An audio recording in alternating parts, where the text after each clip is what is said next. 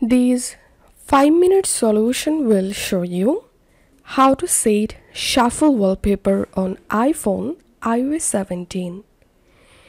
To set or create shuffle wallpaper, it's really very easy process. Just follow this step by step guide. First of all, open your iPhone lock screen.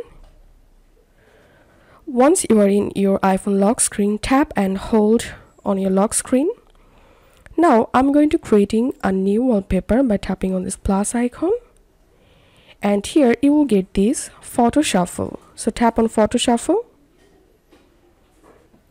now you can use feature photo by tapping here but I will select photos manually.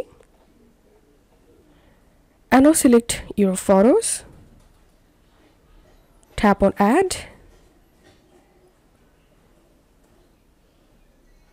now you can add filter or effect to your shuffle photos.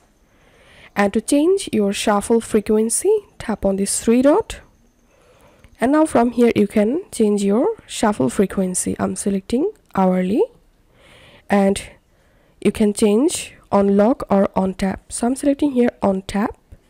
Also you can uh, enable or disable depth effect from here then tap on time. And now you can customize your time font from here and then tap on add.